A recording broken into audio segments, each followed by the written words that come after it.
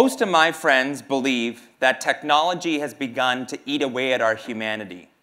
They see technology as taking us farther and farther away from being human. In fact, I would go as far as to say that many of them believe that technology is like a cancer eating away at our souls, a vice, wronging our existence, but yet they're unable to live without it. Now, I don't agree, but I can't deny how much of a distraction our modern day technology has become. Our screens are demanding a lot of our time. And we have spent a lot of our time these past few decades building a virtual world, sometimes over our real one. Now, our smartphones and computers are powerful, life-changing technologies, but our newness with this technology can be likened to that of an adolescence, self-absorbed and struggling to find an identity. But we are about to grow up. We are at the dawn of a huge shift, a new wave of computing one unfettered from screens and able to coexist in the world around us. Wearable technology will act as a cure to the technologies before it, reconnecting us to ourselves, reconnecting us to each other, reconnecting us to a higher power, and helping us to become human again. But in order to do this, we need to ask ourselves what it means to be human. Is being human what we are at birth, naked and vulnerable, unshaped by our experiences, language, our caregivers, and the world around us? Or is being human what we become, molded by our identities, which are shaped by the stories that we're told, or by the experiences that we create, in part by the tools that we have access to, tools like technology? I would argue the latter. Augmentation is innately human. Since our caveman days, we have been clothing our bodies and creating the tools necessary to become the people that we are today. Now, our tools have become much more sophisticated since the stone-carved dagger. Our computers and smartphones now shape every facet of our lives. And the Internet of Things, and with it wearable technology, will continue to push our species forward. Now, many people ask why I get out of bed and I'm wholly consumed by wearable tech, and it's because of this. I believe that wearable technology is a critical part to our human evolution. But more importantly, I see that in this wave of computing, more than any of the others before it, it will challenge our traditional notions of humanity. To see that there is no separation between humanity and technology, that they're one and the same, and that we require technology in order for humanity to exist. But this is sometimes difficult to see in a time when we may feel disconnected and separated from our technology. Our smartphone use has become synonymous with rudeness, and we are being accused of having the shortest attention span of all of human history. And this speaks to a separation gap between us and our tech. Up until now, our relationship with technology has mostly been a separate one. We began long ago with huge computers in rooms that we visited, and those became miniaturized to desktop versions, but even now they reside at work or in a home office where we frequent and leave. And even though our technology has become mobile, with smartphones, tablets, and laptops, they still have homes in our pockets, purses, and bags. No matter how much you want to cling on to that smartphone for dear life, at some point, you have to go to the washroom, you have to eat, or you have to sleep, and it's no longer a part of you. Wearable technology will dramatically close this separation gap, shifting where our tech is from being something that sits in a room or that we hold in our hand to something that we wear on our bodies as an extension of ourselves. And as wearable technology will have access to our bodies, it will get to know us in a much more intimate way it will also usher forth a new and more natural way to interact with technology, thus changing our relationship with tech. And in changing our relationship with technology, it will change the way we relate to ourselves, to each other, and the world around us. Now, we know more about the machines around us than we do the most important machine of all, ourselves. Oftentimes, I, I ask people about their smartphone's operating system, and they can talk at length about what it's all about. But when I ask them what their resting heart rate should be, they don't know. And believe me, this was myself as well when I got my very first fitness tracker with a heart rate monitor. I had to Google whether or not the heart rate I was seeing was normal. But wearables will change how we see ourselves. Wearables will start to allow us to see ourselves as biological beings. And if it does nothing but this, it will be the most important thing that has ever happened to you. Medical devices that were once only in the hands of doctors are now becoming democratized to the masses, which means that you will get access to your own physiological information. And the Fitbits, the Jawbones, the Nike Fuel Bands of the world, they've started this transition and shift with the STEP. And the STEP is a great way to start because the STEP is an easy, fun metric that we all understand, and it will help us become more reacquainted with the fact that we are a machine. But wearable technology has already moved well beyond the step to be able to measure our heart rate, our breathing, even our muscle effort. And today I'm wearing a smart shirt from Hexoskin, and behind me on the screen you're seeing my heart rate and breathing. Wearables are creating what I like to call a data mirror. We are able to see our true picture of health through the biometric information that it's gathering, and by looking into this reflection, we will know ourselves better. And to know better means that we can be better, which means we can become healthier, better machines. But it's not just our physical selves that will be captured and reflected in this data mirror, but our emotional selves as well. The GSR, or galvanic skin response, is a powerful sensor that is starting to be utilized in the wearable space.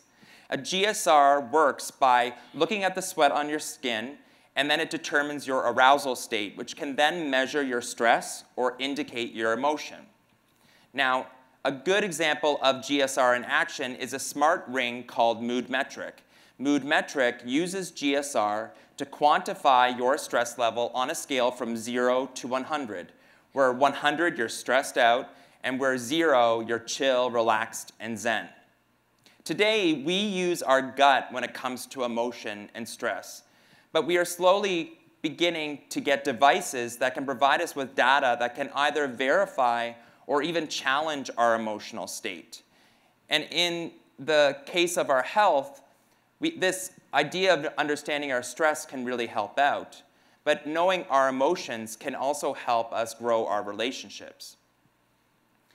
Wearables are also tackling our mental selves.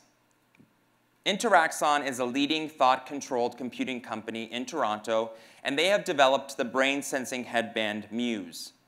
Muse is a personal meditative assistant that uses EEG, or electroencephalogram, to monitor your brainwaves and then visualize those brainwaves in an app, showing you when your brain is calm or when it's active. And it uses audio cues to walk you through a meditative exercise. So you hear a serene beach scene when your mind is calm, or you'll hear the beginnings of a storm when your mind is active. Muse is quantifying your mental self and it's adding it to that data mirror.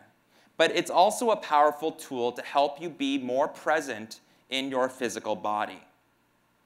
And being more present with yourself is exactly what the wearable camera category of wearable tech wants to help you achieve. We are innate storytellers, but today, to capture the moment, we need to disrupt it. We either need to stop it completely, say cheese, or we have to remove ourselves from that moment in order to capture it in action. Imagine going on vacation and being able to live every moment to its fullest, knowing that every moment on that vacation is being captured so that when you return, you can share it with your friends. This is the promise of wearable cameras. Wearable cameras will document our lives on our behalf, removing the need for us to take pictures and videos, which means that we will be more present in the moment and therefore more present with ourselves. But as much as wearables are bringing us closer to ourselves, they are also going to help us reconnect with one another. This is a still from a short film named Sight, in which it depicts a future where we all wear smart contact lenses that provides us with information about the world around us. In this scene, our main character is using these devices to pull up information about the blind date he's on with the woman across from him. Now, this future scares a lot of people. But the fact of the matter is that we have all the tools necessary to pull up information about ourselves with our smartphone today. It's just that in doing this with a smartphone across from the person, it would be completely rude. The immediacy of this information, combined with the fact that it will be part of our sight, is the big shift in wearable technology.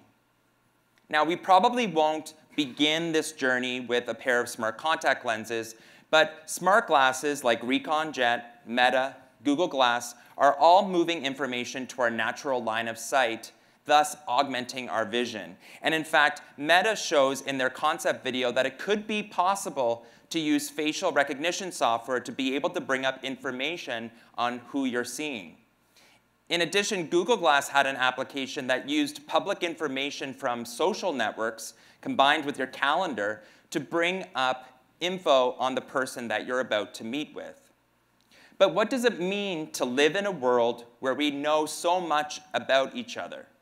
Well, it means that no one is a stranger. It means that we can quickly move past that awkward ice-breaking stage to head into a deep, meaningful conversation with everybody we meet. Wearables could allow for us to relate with everybody on a deep level by providing us with the tools to strike a conversation and find that necessary common ground.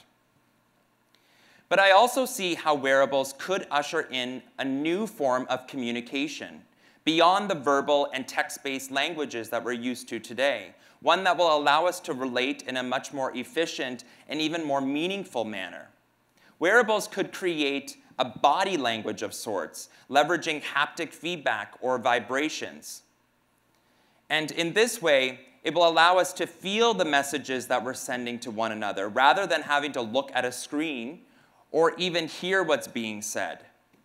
And I see the beginnings of this communication revolution in Apple Watch's Digital Touch. Digital Touch on Apple Watch allows Apple Watch wearers to send vibrations to one another's wrists. You can send your biometric information, like your heartbeat, to one another, or you can tap on the screen to do something like a body Morse code.